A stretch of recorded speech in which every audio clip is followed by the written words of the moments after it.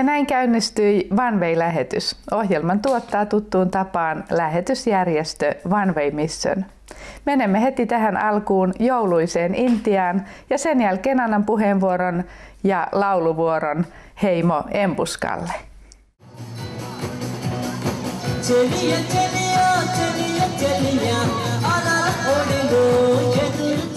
Taj Mahal, Bollywood-musiikki ja kasvava markkina-alue.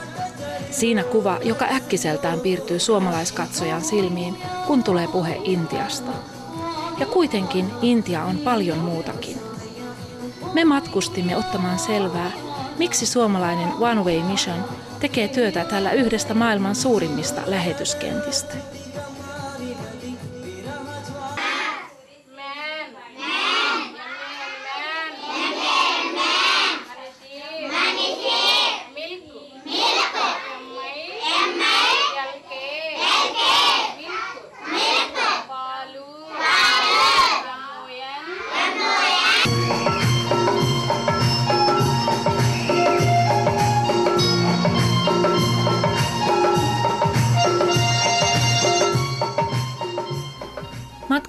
Hyderabadista Vitsajavadaan puhkeaa rengas. Saamme ensimakua intialaisesta tavasta hoitaa asioita. Kaikki tulevat ystävällisesti auttamaan meitä, joskaan apua siitä ei ole. Vararengaskin on valmiiksi rikki, joten eräs saattajistamme lähtee hakemaan autoriksalla uutta rengasta korjaamolta. Kolmessa tunnissa yö ehtii vaihtua aamuksi ja ruuhka sen mukaiseksi.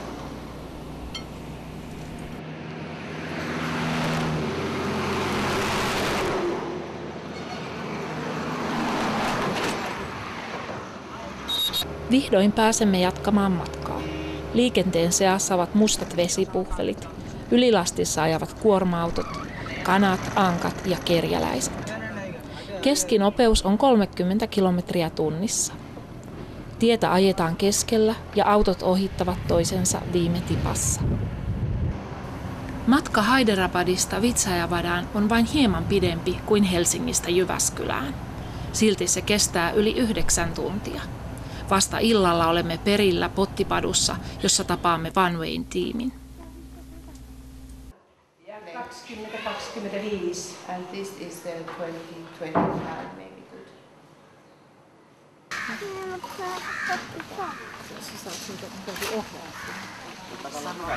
Mangopuutarhan keskellä sijaitseva Vanway-kylä on oma turvallinen yhteisönsä, joka koostuu suomalaisten lahjoittajien tuella toimivasta lastenkodista – kylän omasta koulusta sekä ulkoministeriön rahoituksella rakennetusta vammaiskuntoutuskeskuksesta.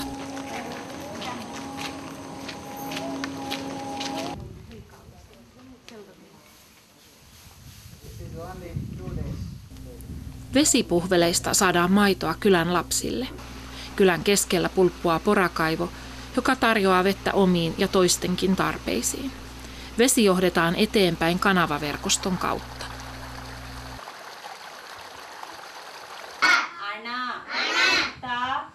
Lasten iloiset äänet kaikuvat koululuokista kylän raiteille.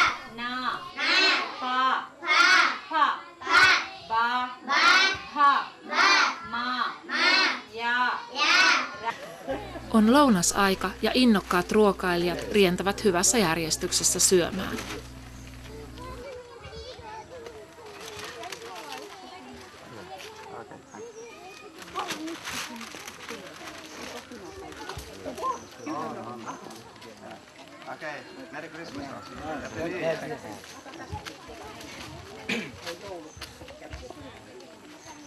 Kaunis ja valoisa kirkkorakennus toimii ruokasalina ja kylän kokoustilana.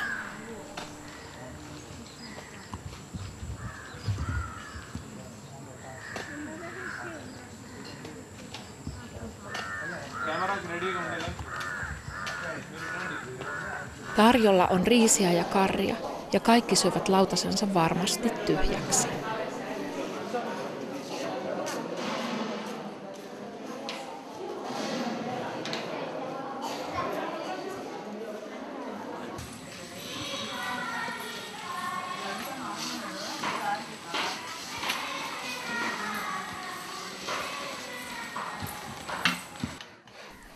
Vanveikylä kehittyy koko ajan.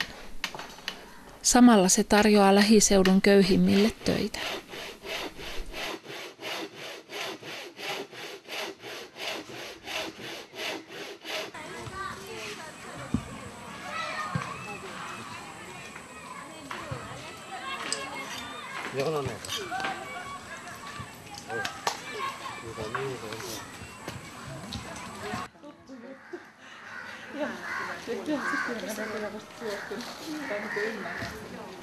Seuraavana päivänä on tarkoitus lähteä tutustumaan kylän kuntoutustoimintaan.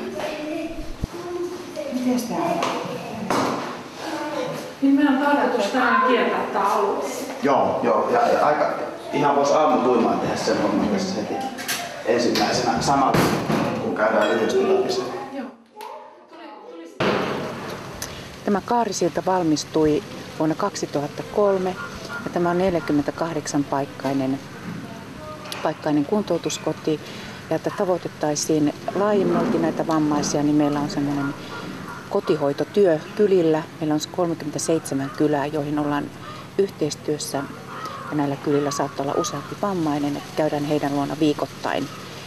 Alussa oli kaksi kertaa viikossa ja nykyisin käydään neljänä päivänä viikossa tekemässä tätä kotihoidon kuntoutusta. Kaarisilta on ulkoministeriön tuella aloitettu kehitysyhteistyöprojekti, jolla on pitkäjänteiset tavoitteet.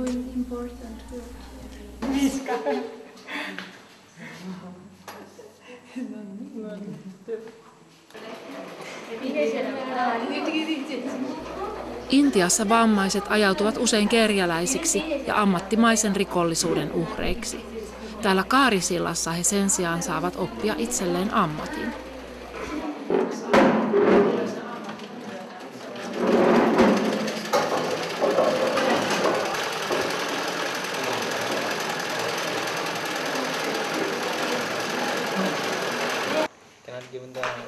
Kysyimme Kaarisillan fysioterapeutilta, mitä näille kuntoutettaville tapahtuisi ilman asianmukaista hoitoa.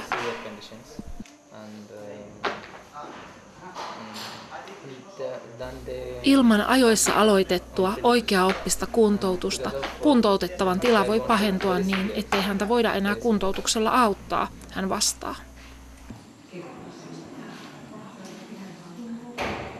Tässä valmistetaan juhlasarja. Työ on luovaa ja tarkkuutta vaativaa. Sarin valmistuminen kestää useita päiviä.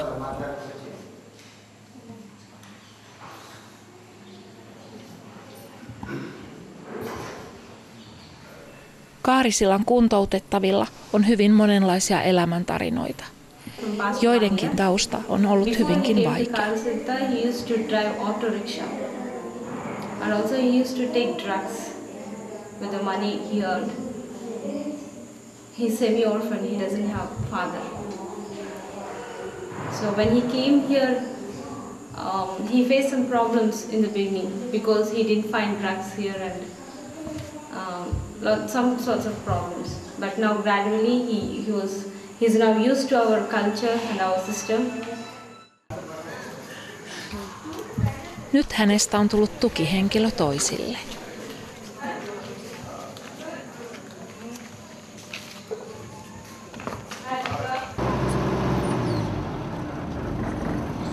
Meille avautuu mahdollisuus lähteä Vanvein tiimin matkaan tekemään kierrosta alueen kyliin.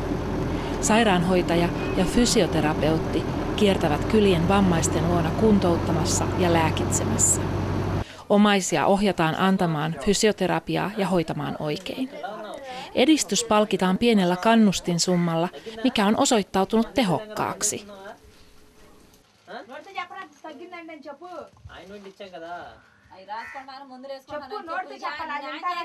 Kuntoutuksella on myös toinen tärkeä tavoite.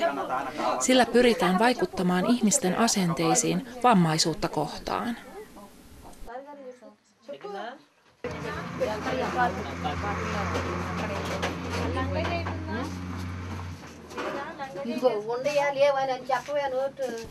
Tämä tyttö on 13-vuotias, vaikka hän on pituuskasvultaan kolmevuotiaan kokoinen. Vierailumme koskettaa koko kylää. Kaikki tulevat paikalle seuraamaan, kuinka tytön jalat hoidetaan.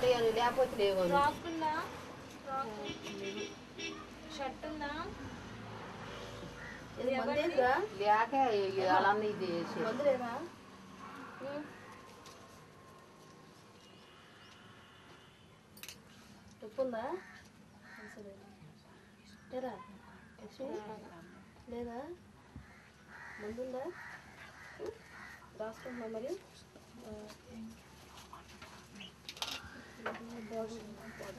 Tyttö on taiteellisesti lahjakas. Hän tekee itse suunnittelemiaan koruommeltöitä, joita monet ovat ihailleet. Voi vain kuvitella, miten paljon kuntoutuksella on merkitystä hänenkin tulevaisuudelleen.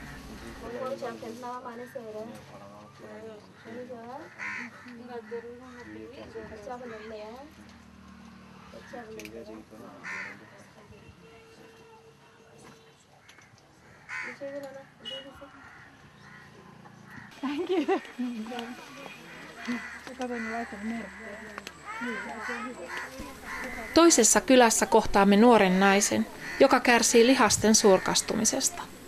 Hän on saanut tarkan kotikuntoutusohjelman.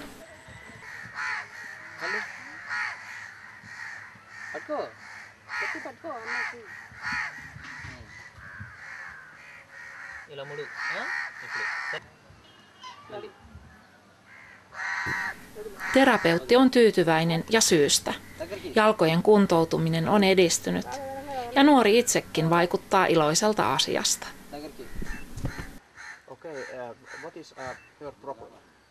Kotihoidon seuranta on havaittu tärkeäksi osaksi kuntoutustoimintaa. Kun perhe on saatu sitoutettua kuntoutustavoitteisiin, myös tuloksia alkaa syntyä. So the,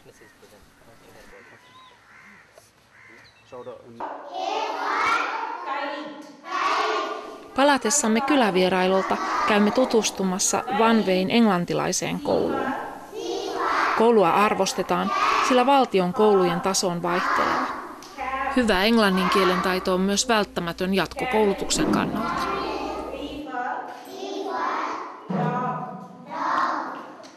Intialaislapset aloittavat koulunkäyntinsä jo viisivuotiaina.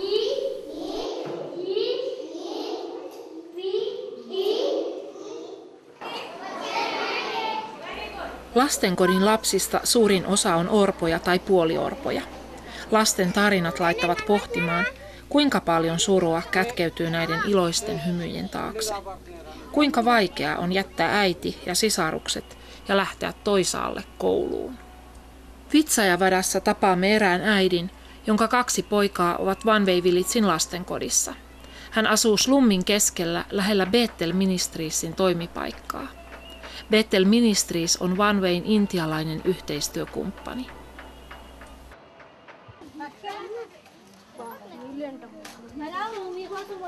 uh, here they give prominence for education. If they study up to 10th class, they can uh, have some jobs or some uh, medium jobs. there, Some such future. Jobs, future, but that's the future sake. Bethel Ministriesin johtaja Elia Kodali kertoo, kuinka tärkeänä tämä äiti pitää lastensa koulutusta. Vain koulutus voi taata heille kunnon toimeentulon. Äidin ilon ymmärtää hyvin. Silti jää pohtimaan, onko lapsille hyvä olla äidistä erossa, vaikka tämä tapaisikin heitä kahdesti kuussa. Kierrämme myöhemmin slummia ja kuvaamme kadun elämää. Nyt vasta alan käsittää päivällä tapaamamme äidin huolen pojistaan. Minkä verran leskiäidillä on aikaa lapsilleen, kun on käytävä töissä? Ja kukapa lapsista huolehtisi päivisin? Kadun kasvattina elämä on karua ja vaarallista. Monet päätyvät varkaiksi tai prostituution pariin. Hajima, Hajima, Slummissa elämä on ankaraa selviytymistä päivästä toiseen. Siellä on vaikea kasvattaa lapsia, sillä nämä imevät slummin identiteetin itseensä.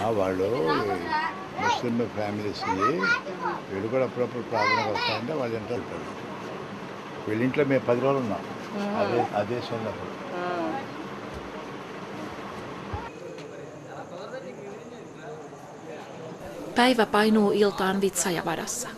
Huomenna on jouluaatto. One lastenkodissa on yli 80 lasta. Osa heistä on jo ehtinyt aikuisiksi ja ovat siirtyneet kouluun muualle, toiset yliopistoon, toiset ammatilliseen oppilaitokseen.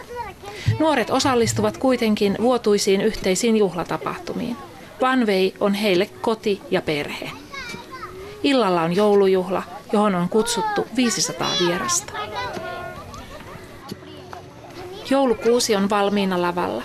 Siinä onkin kaikki, mikä muistuttaa suomalaisesta joulusta. Illan ohjelma on ehdottoman intialainen, etninen ja vaikuttava.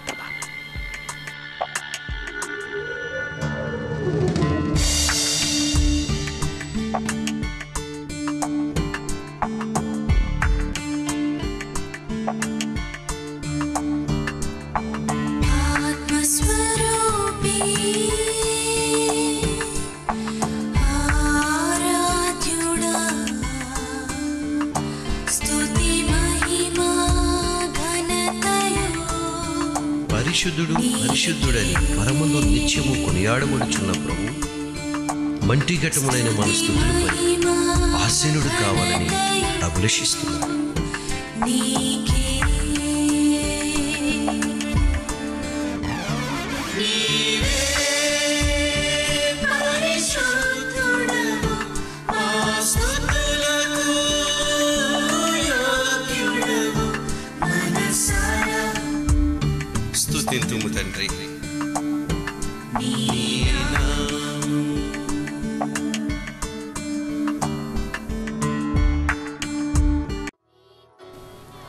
Ohjelma päättyy yhteislauluun ja tuli leviää kynttilästä toiseen, kuvastaen evankeliumin voimaa.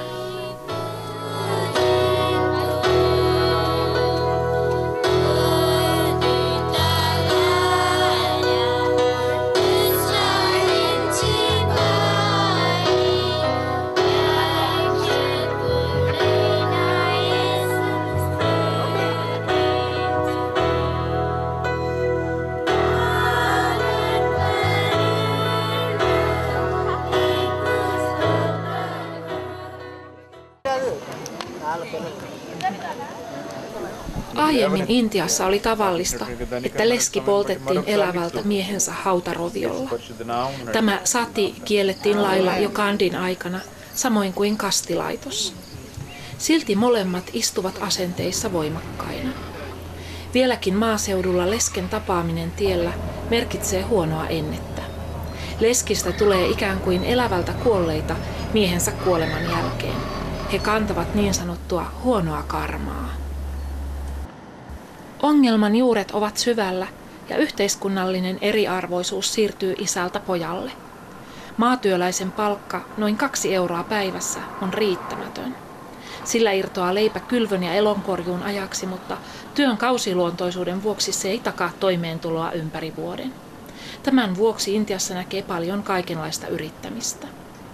Riisipeltojen vedessä kasvaa riisin lisäksi pilhartsia, loinen, joka ihmisen siirtyessään vie ennenaikaiseen hautaan. Moni maanviljelijä kuolee jo nelikymppisenä aliravitsemuksen ja puutteellisen terveydenhuollon vuoksi ennen aikojaan. Alemmissa yhteiskuntaluokissa, eli niin sanottujen daliittien, kastittomien, parissa leskellä ei ole paljonkaan mahdollisuuksia. Jos perhe ei ole varakas, joutuu leski kerjuulle tai peltotöihin. Lasten kohtalo on lohduton.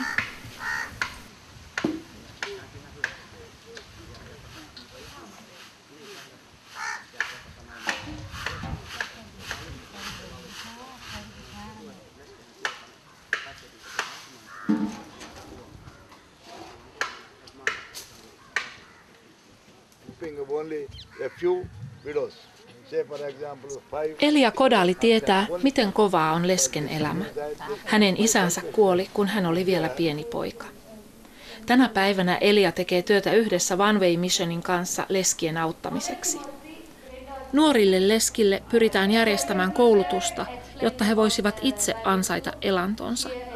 Elian vaimon Laura Kodalin raamattukoulussa nämä nuoret naiset oppivat ompelemaan. Puolen vuoden koulutuksen jälkeen he saavat ompelukoneen, jonka avulla he pääsevät työn alkuun.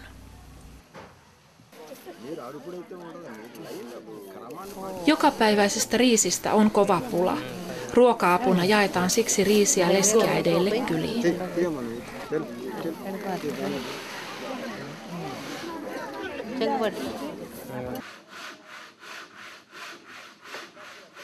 Vanhemmille leskille on rakennettu turvatalokortteli Pottipadun Vanveikylään.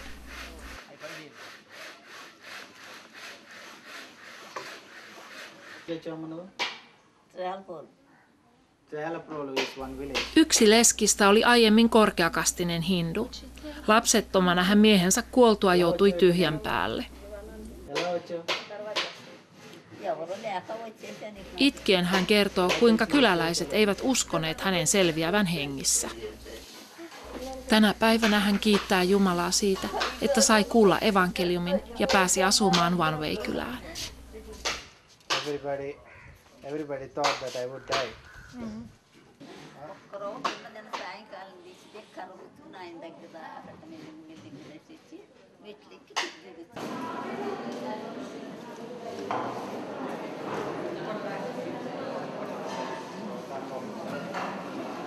Orvot, vammaiset ja yhteisöensä syrjimät lesket muodostavat Vanveikylässä perheen, jossa jokaiselle on tilaa.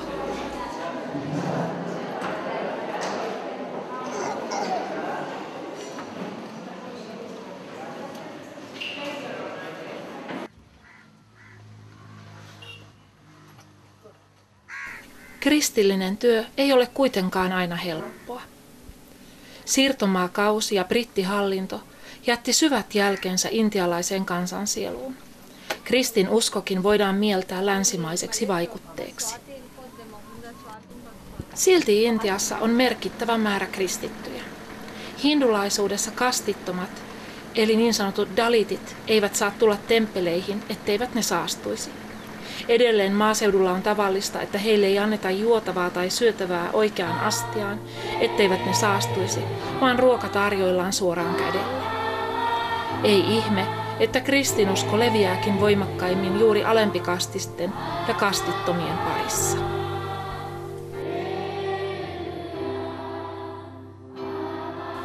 Vanvei Vilitsin kirkko täyttyy innokkaasta yleisöstä sunnuntaisin.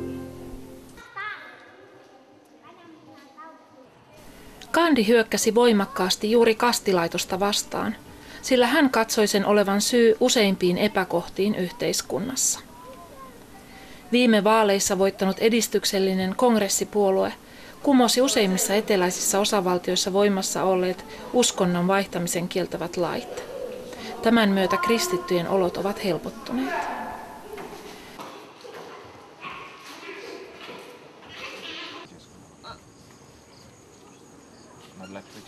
Vanveikylän kasteallaskin on ahkerassa käytössä. Kaste on rohkea askel hindulaisessa maassa. Se on julkinen tunnustautuminen kristityksi, Jeesuksen Kristuksen seuraajaksi.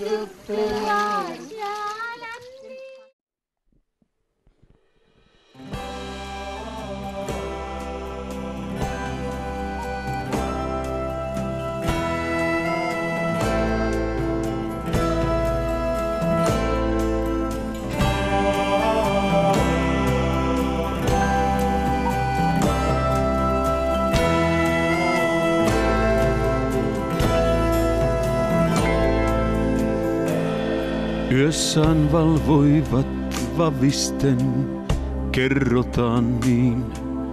Oli maailma tarttunut taas aseisiin veli veljeään taaskaan, kun ymmärrä ei. Sota säästänyt ei mitään, kaiken se vei. Siksi valvoivat, sehän on vartion työ, joku muisti, nyt on jouluyö. Ulkomuistista aivan hän viritti sen, hiljaa hyräillen laulua enkelien sodan särkemä tieno ja raiskattu maa. Laulun kuullen jäi hartana kuuntelemaan.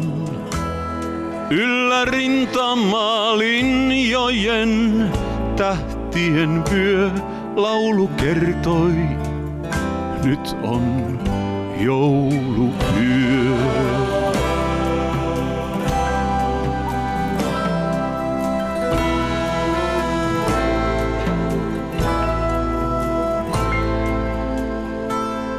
Hiljaa alkanut laulu pian vahvistui. Yli taistelut antereen kantautui. Tunsi toisella puolen myös sävelen sen. Oli hetken taas veli, ei vihollinen.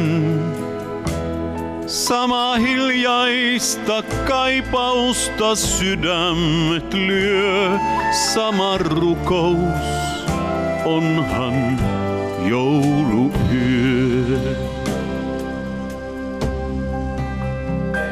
Ja kohta yhdessä lauloivat, kerrotaan niin, sinä yönä ei tartuttukaan aseisiin sodan särkemän maan yli laulu kun soi likiseimen ja lapsen se hetkeksi toi. Ja siinä valvoivat, sehän on vartion työ, laulu kertoi, nyt on jouluyö.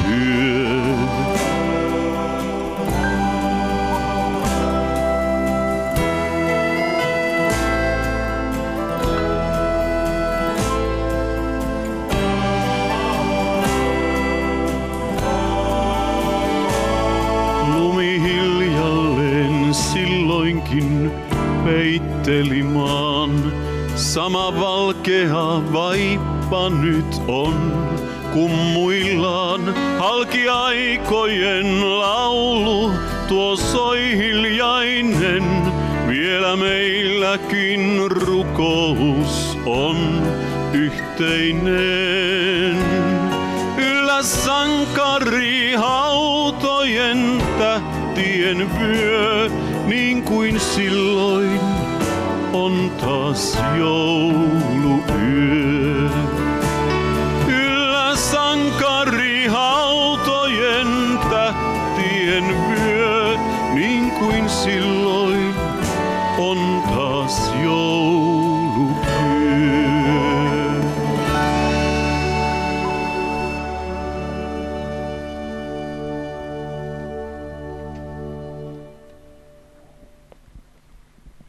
Matteuksen evankeliumissa kerrotaan, että hänelle käskettiin antaa nimi Jeesus, sillä hän on lunastava kansansa heidän synneistään. Ja tuo sana tänä päivänä, Jeesus, koska hän tulee ja hän ostaa, hän lunastaa. Se on äärettömän miten mä sanoisin, käytännöllinen tai käytännön elämässä on monia asioita, joissa kun tulee tällainen lunastamisen tarve, niin ihminen, joka on sellaisessa tilanteessa, kokee sen, voisi sanoa kiusallisena. Minä teen sellaista työtä, että myyn asuntoja ammatikseni – ja aina kun tehdään kauppaa, niin hyvin tarkkaan siinä mietitään, että mikä on se hinta. Esimerkiksi jos ajattelen osakekirjoja, osakkeita, asuntoosakkeita, niin nehän on visusti tallella ne osakkeet jossakin. Mutta 90-luvun alussa oli tilanteita, jotka oli surullisen totta monien kotien kohdalla. Nimittäin ne osakekirjat olivat siellä lainojen vakuutena ja panttina.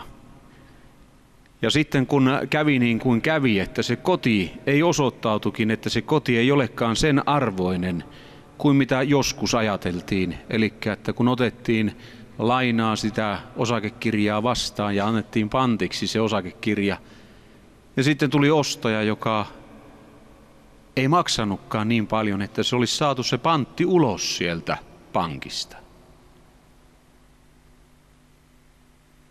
Ja sitten oltiin ja todettiin, kuka lunastaa ja millä hinnalla voidaan lunastaa pois.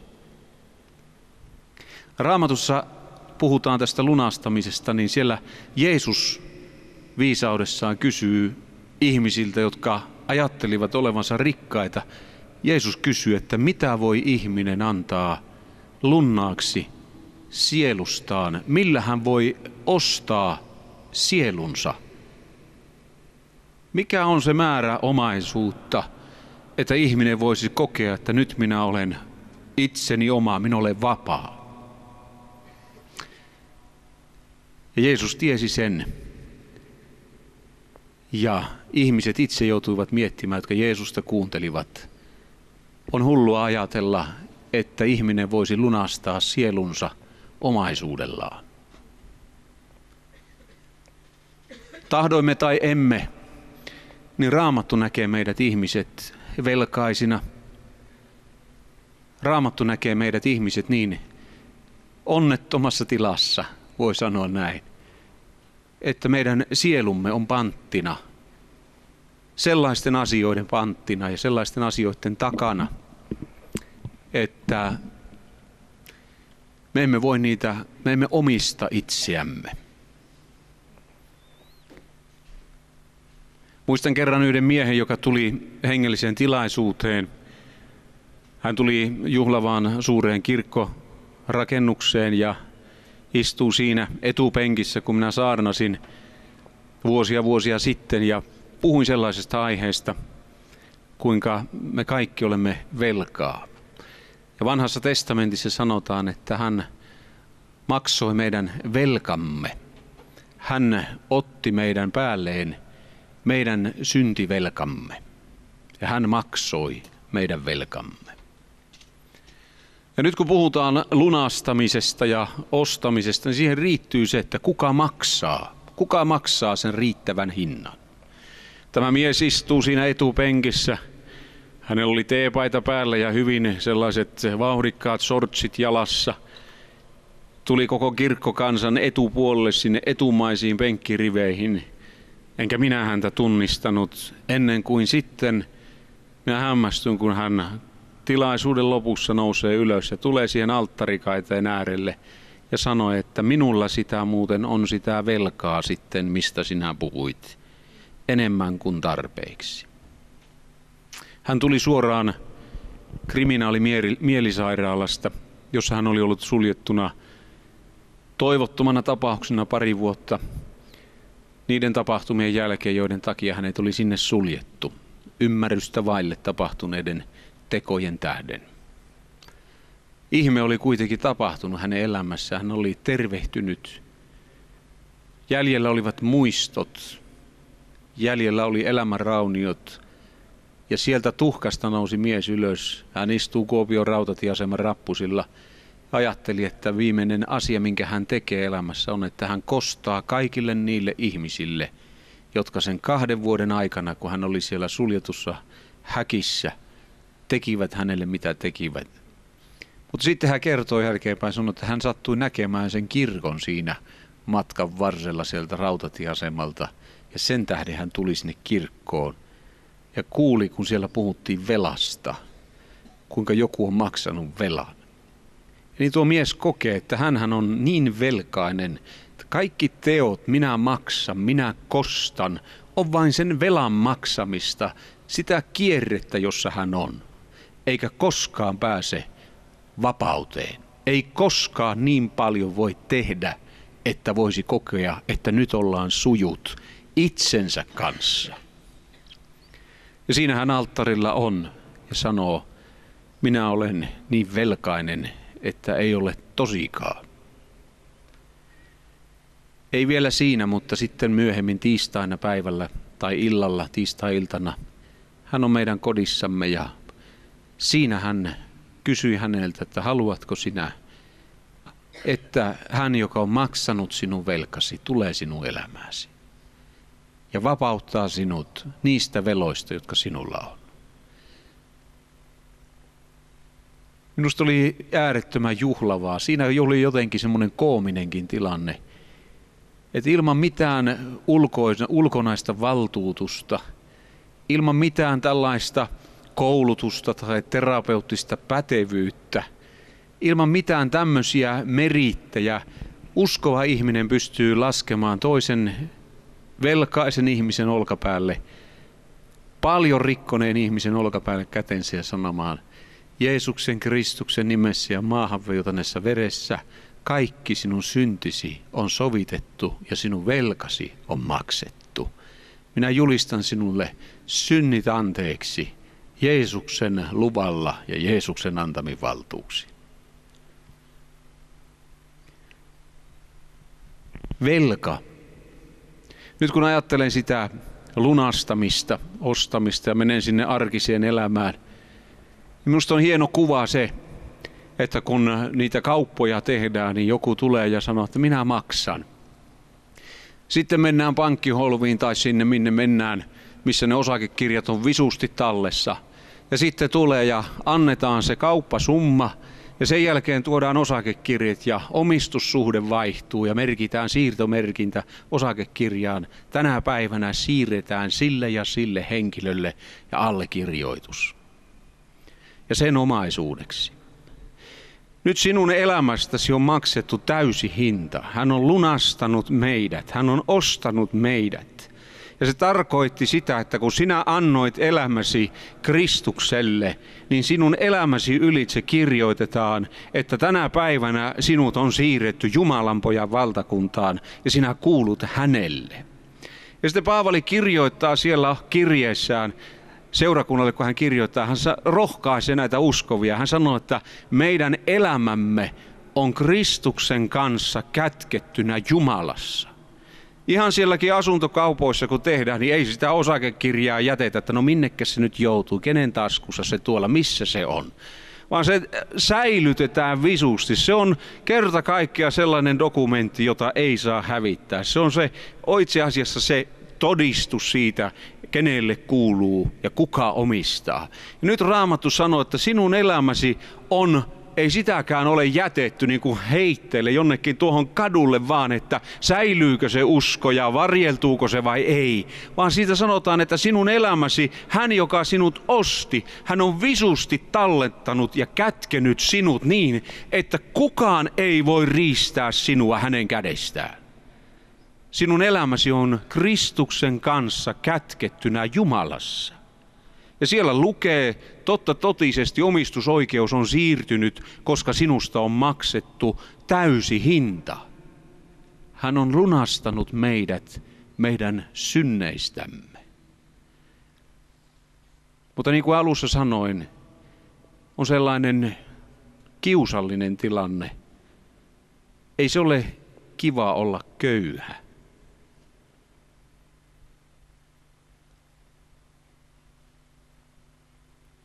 Joskus oli kotona sellaisia tilanteita. Jouluaattona pikkuveljeni lähti kauppaan. Oli vielä jotakin piti ostaa. Muistaakseni sähkökynttilän kynttilöitä. Kun pikkupoika seisoo kaupan kassalla, niin sanotaan, että ei anneta enää. Maksakaa entiset velat pois. Ja niin totta kun sinä ja minä ihmisinä olemme tuntevia ihmisiä – niin se varmasti jättää jälkensä ihmiseen, kun leimataan, että olet jossakin täällä, olet niin velkainen. Mutta tiedätkö, on turvallista olla rikkaan lunastajan edessä velkainen, koska hän on tullut ei tuomitsemaan, vaan pelastamaan.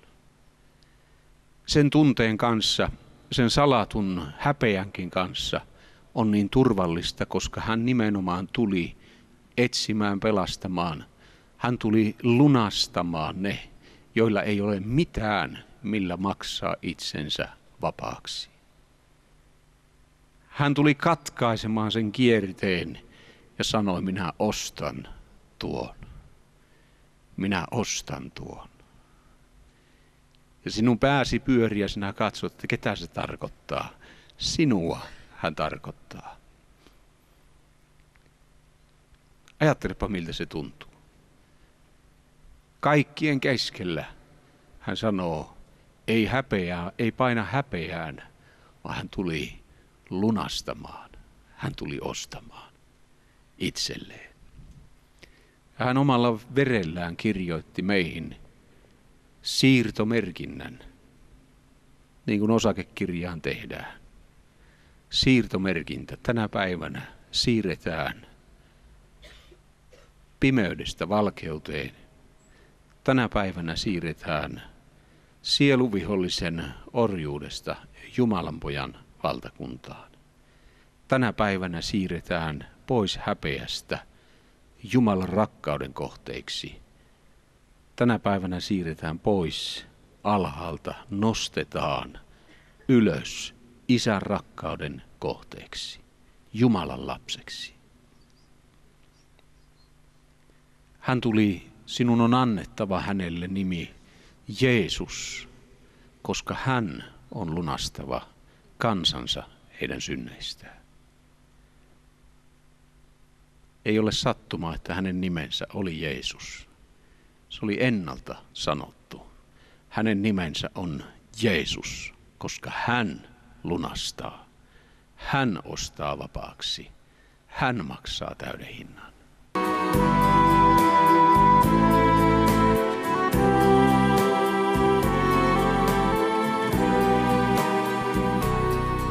On jouluyö ja lumihuntuun pukeutunut maa, kun yhtä puhdas itse olla voisin. Se ajatukset joulun tuntuun virittymään saa, kuin harras sävel sisälläni soisi. Näin sydämeni joulun teen ja mielen hiljaisen. Taas Jeesus lapsi syntyy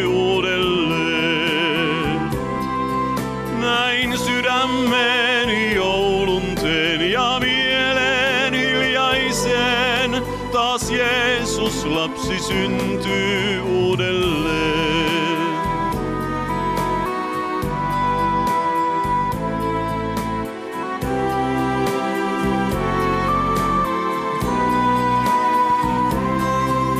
On jouluyö sen pyhä rauha leijuu sisimpään, kuin oisin osa suurta kaikkeutta.